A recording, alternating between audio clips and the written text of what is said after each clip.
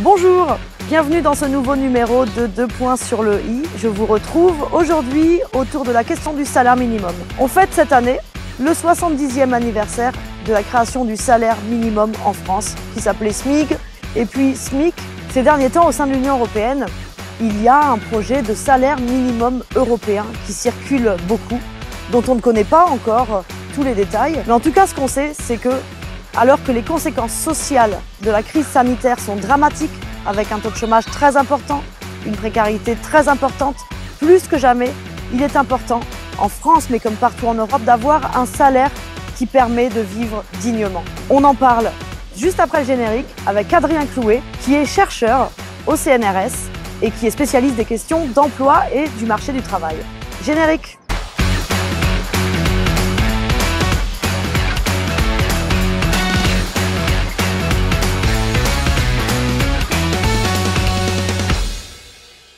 Bonjour. Bonjour Adrien. Alors Adrien, on fête cette année les 70 ans du salaire minimum en France. Comment est née en France cette euh, idée d'un salaire minimum, un SMIG et puis un SMIC Alors c'est une euh, assez vieille histoire. Disons que depuis le début du XXe siècle, il y a eu beaucoup de tentatives euh, gouvernementales d'essayer de réguler les salaires et d'éviter qu'on puisse travailler en étant pauvre. Déjà, en 1899, sous Millerand, on met en place euh, des contrats dans les marchés publics qui interdisent aux prestataires de payer les gens en dessous d'un certain niveau de salaire. À l'époque, on appelle ça le salaire normal. Mais il faut attendre les années 50 pour voir la mise en place euh, interprofessionnelle et nationale d'un SMIG, un salaire donc euh, minimum garanti. Alors ce salaire, à l'origine, il faut bien avoir en tête qu'il vise aussi à rétablir la liberté des contrats. C'est-à-dire qu'en 1939, avec la guerre, l'État fixe les salaires et 11 ans plus tard, on réautorise les employeurs et les employés à discuter du niveau des salaires. Donc pour éviter les pertes anticipées du côté salarié, on fixe un plancher pour que la négociation ne mène pas à une paupérisation générale de tout le monde.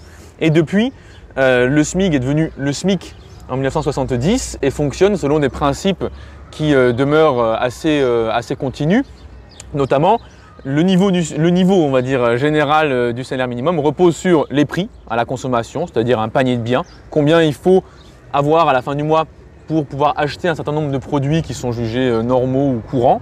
Deuxièmement, il repose sur le salaire horaire de base, c'est-à-dire en gros l'évolution des salaires chez euh, initialement les ouvriers, aujourd'hui ouvriers et employés. Et en outre, il peut être réévalué lorsque l'inflation augmente très vite, lorsque les prix montent, que la vie devient très chère il est réévalué et enfin, finalement, il peut connaître ce qu'on appelle des coups de pouce, c'est-à-dire un gouvernement peut décider sur un simple décret d'augmenter le niveau du SMIC. Donc c'est quelque chose qui coûte assez peu cher, un papier, un stylo, et on peut monter le niveau du SMIC en France assez librement. Toutefois, il faut bien noter que ce SMIC a connu depuis une, dizaine d'années beaucoup d'attaques qui, euh, qui, ont sapé plusieurs de ses fondements et qui en ont un peu miné euh, le niveau. Notamment en 2010, le SMIC a été réévalué non plus au mois de juillet, mais au mois de janvier. Quel était l'objectif de ça? C'est de faire en sorte que les conventions collectives soient négociées après et qu'elles n'anticipent pas un SMIC trop élevé. Par ailleurs, le coût de la vie sur lequel il est désormais indexé concerne les 20% les plus pauvres. Donc on a évacué une partie de la population. Comment ça? C'est-à-dire qu'on... Eh bien on prend le panier de biens des 20% les plus pauvres, au lieu de prendre le panier de biens de toute la population. Ah, Donc on a réduit aussi un petit peu euh, la population qui servait de référence pour calculer le SMIC euh, chaque année. En outre, le salaire horaire, je l'évoquais tout à l'heure, de base, qui sert de référence dans la progression, n'est plus seulement celui des ouvriers, mais aussi celui des employés. Pour une simple raison, les employés ont un salaire qui progresse moins vite en France que le salaire des ouvriers, notamment qualifiés. Voilà, donc ces différentes attaques ont conduit à affaiblir assez largement le SMIC, mais qui couvre tout de même 1,7 million de personnes aujourd'hui, dont le salaire mensuel, si elles travaillent à temps plein, parce qu'il faut bien se rappeler qu'une grande partie des personnes au SMIC travaillent à temps partiel, mais si ces personnes travaillent à temps plein, elles touchent un peu moins de deux tiers disons, euh, du salaire médian des Françaises et des Français. Alors comme tu le dis, il y a eu des attaques parce que c'est avant tout une conquête sociale, le, SMIC, ce salaire minimum. Si on regarde à l'échelle de l'Union européenne, qu'est-ce qu'il en est? Est-ce qu'il y a un salaire minimum dans tous les pays de l'Union européenne? Alors non, pas du tout. Il y a une partie euh, des pays européens, je pense notamment aux pays scandinaves, qui n'ont pas euh, de salaire minimum. Là, dans ce genre de système social, la fixation des salaires, disons tout en bas de la, chaîne, se fait par des négociations de branches ou, des accords interprofessionnels, notamment dans des pays où les syndicats sont assez puissants. Même si depuis 20 ans, le gel des salaires dans ces pays-là montre bien en fait que ça ne marche pas, que la négociation syndicale lors des moments d'affaiblissement des syndicats, ne fonctionne plus. En outre, on a plutôt une extension depuis quelques années. Un pays comme l'Allemagne, par exemple, fête le cinquième anniversaire du SMIC qui a largement réduit les inégalités. Ensuite, euh, entre les pays qui ont un salaire minimum, il y a des inégalités extrêmement fortes. Évidemment, on a un pays comme la Bulgarie, on a un salaire minimum à moins de 2 euros de l'heure, et des pays comme le Luxembourg, on a un salaire minimum à 12 euros de l'heure. Donc on a des écarts de plus de 1 à 6 au sein de l'Union européenne quant au niveau des salaires. Donc il y a des inégalités très fortes au sein de chaque pays, bien sûr, entre pays de l'Union européenne aussi. Et ces inégalités, on le sait bien, elles alimentent des formes de dumping social avec des personnes qui, quittent un pays où le salaire minimum est à 3 euros de l'heure et qui sont prêtes à venir travailler dans un autre pays, soit en détachement en étant beaucoup moins payés, soit même en travaillant au SMIC dans des secteurs où en fait les gens du pays en question travaillent en étant payés plus que le SMIC. Par exemple, dans un pays comme la France, on peut avoir des ouvriers qualifiés qui acceptent de travailler au SMIC parce que dans leur pays, ça représente une ah. rémunération plus forte, alors que vu leur qualification et leur diplôme, en France, ces personnes-là seraient payées bien au-dessus. Et puis ce dumping aussi, on imagine qu'il est aussi du côté des entreprises qui se disent, tiens, moi, j'agis à l'échelle euh, européenne, je vais aller m'implanter là où le salaire minimum est plus bas. Notamment dans une zone comme l'Union européenne où on peut faire produire quelque part et vendre ailleurs. Du coup, c'est évidemment tout bénéfice de faire produire là où les salaires sont bas et de vendre, d'écouler la production là où les salaires des personnes sont élevés. Et comme ça, l'entreprise essaie d'en profiter. Elle paye peu, mais elle profite du fait que d'autres ont rémunéré des gens correctement pour faire son propre bénéfice et son propre chiffre d'affaires. Mais alors, euh, pour me faire l'avocate du diable, ça sert la compétitivité économique, tout ça. On peut se dire que euh, euh, eh bien, le fait de ne pas avoir de salaire minimum ou d'avoir un salaire minimum bas, finalement, ça va aider à la compétitivité des entreprises et à l'économie. Alors, effectivement, ça sert la compétitivité de quelques rares entreprises. Mais par définition, on ne peut pas généraliser cette stratégie. Si jamais toutes les entreprises font comme ça, eh bien, elles auront uniquement des salariés payés à des salaires trop faibles pour pouvoir écouler ce qu'elles ont produit. Donc ça ne marche qu'à condition que certaines le fassent et d'autres ne suivent pas. Et en outre, ce qu'il faut bien voir derrière le salaire minimum, c'est qu'il y a euh, ce que des, chercheurs britanniques, notamment je pense à Sydney Webb au début du XXe siècle, hein, ça fait très longtemps, pouvaient appeler les métiers parasites, c'est-à-dire des emplois qui sont payés tellement faiblement que c'est toute la collectivité qui doit payer les personnes en question.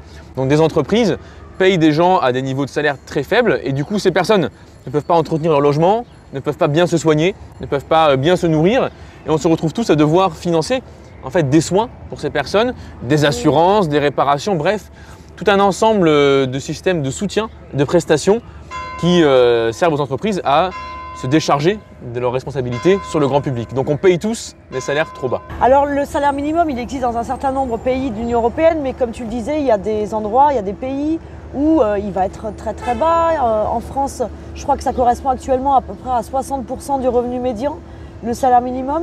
Euh, quel est le bon niveau de salaire minimum? Et en quoi c'est différent salaire minimum et salaire décent?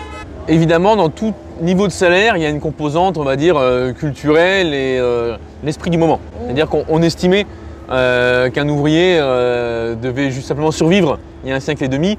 Aujourd'hui, on considère qu'un salarié doit avoir aussi le droit à l'épanouissement, à des, disons, à des ressources intellectuelles, culturelles, de loisirs, etc. Donc ça, c'est une lutte. C'est une lutte pour savoir comment on veut vivre. Et le SMIC est un outil dans cette lutte-là, pour savoir à quel niveau on estime qu'une personne qui travaille devrait pouvoir avoir des libertés dans sa vie.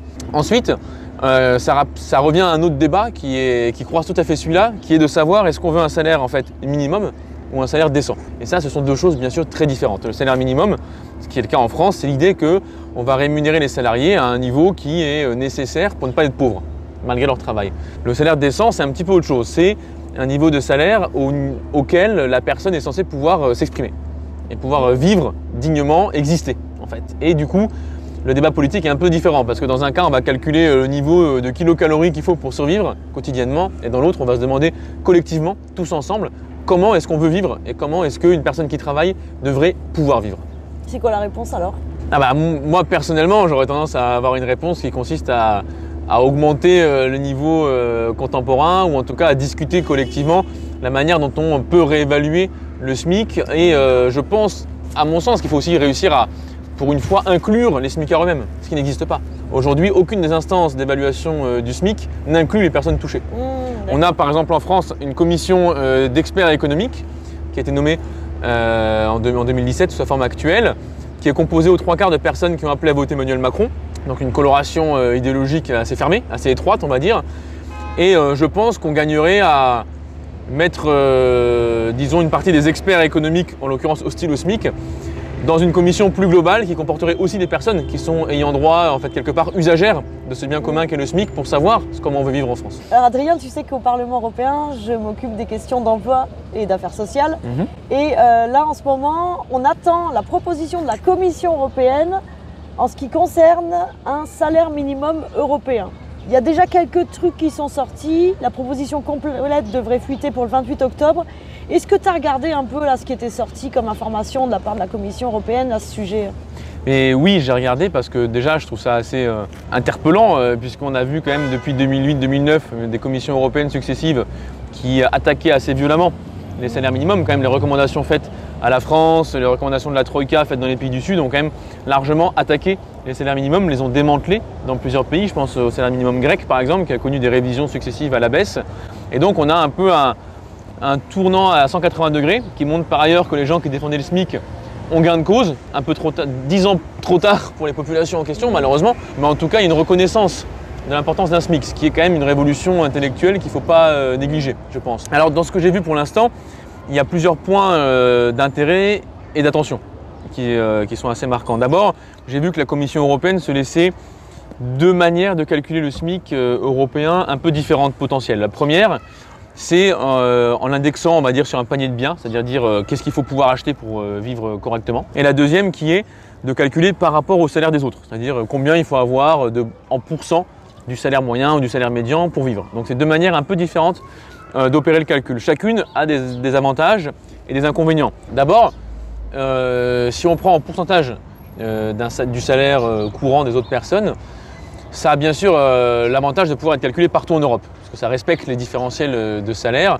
Alors ensuite, il y a des choses un peu inquiétantes euh, là-dessus. J'ai vu notamment que la Commission européenne voulait calculer en pourcent du salaire net, c'est-à-dire exclure les cotisations euh, du périmètre de calcul. Ce qui signifie politiquement que ce serait à l'État de prendre en charge les risques sociaux et pas aux entreprises. Et notamment que lorsqu'on couvre mieux les personnes, lorsque leur salaire brut augmente, les SMIC ne monteront pas. Donc, je trouve ça un petit peu inquiétant dans la logique qui est mise en œuvre. C'est évidemment plus simple de s'appuyer sur un panier de biens, de dire voilà combien il faut euh, d'argent par mois pour acheter ceci, cela. Le problème de ça, c'est d'avoir un panier de biens européen qui respecte les différentiels euh, de pouvoir d'achat.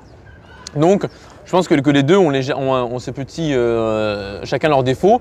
Et par ailleurs, un dernier point qui est le point aveugle de ce type de politique, c'est le calcul du salaire minimum en termes horaires. Et en fait, si quelqu'un travaille 5 heures, 6 heures par semaine, elle peut être certes payée au salaire minimum horaire, mais beaucoup de gens en Europe à temps partiel travailleront et seront tout de même pauvres. Et Alors qu'ils ce... souhaiteraient travailler à temps plein. Exactement. Et ce type de politique ne traite pas forcément euh, un des grands problèmes fondamentaux qui est qu'il n'y a pas assez d'heures de travail par personne. Et on pourrait d'ailleurs très bien réfléchir à avoir des salaires minimums mensuels. On pourrait dire personne ne travaille pour moins de 800 euros par mois, par exemple, quelle que soit la durée horaire. Ça obligerait les entreprises à faire des, à faire des emplois avec une durée horaire supérieure. Donc il y a beaucoup de choses qui peuvent s'imaginer et plusieurs points aveugles qu'il va falloir, à mon avis, surveiller assez étroitement. Aujourd'hui, il y a quoi dans le panier de biens français? Alors le panier de biens français, c'est une bonne question. Euh, il est euh, gardé largement euh, secret par l'INSEE pour que le gouvernement ne puisse pas intervenir dessus. En 56, Guy Mollet, lorsqu'il arrive au pouvoir, subventionne une partie des, des, produits, notamment alimentaires ou hydrocarbures, qui sont dans le panier de biens pour faire baisser son niveau et faire en sorte que le SMIC n'évolue plus. Et donc c'est pour éviter que le gouvernement agisse là-dessus que l'INSEE à la main dessus en France. Donc il faut une statistique publique indépendante capable de calculer euh, l'évolution du prix sans communiquer au gouvernement quel est le détail des produits. Et là, la question se posera au niveau européen, c'est-à-dire bah qui sera en charge euh, Est-ce que ce sera Eurostat qui aura la main dessus, donc l'INSEE au niveau européen ou est-ce qu'il y aura des discussions plus politiques sur les paniers de biens Voilà, donc ça c'est quelque chose qu'il va falloir suivre avec attention. Pourquoi c'est important Plus que peut-être ça l'aurait été il y a un an, avant la pandémie de Covid-19. Pourquoi c'est important euh, d'avoir un salaire minimum? Lorsqu'il y a besoin de pouvoir d'achat, lorsque le chômage frappe beaucoup de personnes, eh bien, le fait d'avoir des gens qui sont sous-payés pour leur travail, ou en tout cas qui sont au niveau du seuil de pauvreté, pose des problèmes pour acheter des masques, pour acheter du gel hydroalcoolique, pour prendre soin des enfants euh, lorsque l'école ferme. Il y a besoin de dépenser beaucoup d'argent en ce moment, encore plus qu'à d'autres moments, et pourtant une partie de la population européenne n'en a pas les moyens. Donc c'est aussi une manière de redistribuer. Alors même qu'elle travaille. Alors même qu'elle travaille c'est une manière de redistribuer. Il faut bien voir aussi qu'avec le chômage de masse, il va y avoir, il y a de plus en plus de ménages où une personne travaille et doit soutenir l'autre. Parce que les allocations chômage sont trop faibles, parce que les prestations sociales sont trop faibles, mais en tout cas, on a besoin du soutien des personnes qui travaillent. Et donc, une personne au SMIC, c'est pas juste une personne qui, euh, se fait vivre. C'est aussi quelqu'un qui euh, bah, fait un chèque aux petits-enfants, euh, qui aide euh, le conjoint ou la conjointe à finir le mois. Donc ça, c'est aussi une forme de redistribution sociale plus générale. Et enfin, peut-être, on peut aussi évoquer le soutien à la consommation. C'est-à-dire que tout ce qui part en SMIC, ça ne part pas en profit financier. C'est une, une question de redistribution fondamentale lorsque les entreprises, notamment les grandes, sont obligées de monter les salaires les plus bas, eh bien, elles sont obligées en général de prendre soit sur les salaires les plus hauts, soit sur les profits financiers, soit de repenser le travail pour qu'il soit plus efficace. Mais dans tous les cas, ça ne fait qu'apporter du progrès social, en général d'augmenter le SMIC. Ça impose de travailler mieux, plus efficacement et de moins gaspiller euh, dans les profits financiers. Mais on voit là l'importance de ce chantier du salaire minimum européen. Merci beaucoup Adrien Clouet. Merci. Ça y est, c'est la fin de ce nouveau numéro de 2 points sur le i. J'espère que cela vous a plu. Je vous annonce que la délégation de la France Insoumise au Parlement européen lance une grande campagne sur le salaire minimum européen et que pour ma part, je vais parcourir un certain nombre de pays de l'Union européenne à la rencontre des syndicalistes, à la rencontre des travailleurs pour savoir comment on vit avec un salaire minimum en Europe et pourquoi il est important d'avoir un salaire minimum européen. Si ça vous a plu, n'hésitez pas à vous abonner, à mettre des pouces bleus, à mettre des commentaires et puis à nous proposer des sujets pour les prochains numéros de deux points sur le i. Allez, salut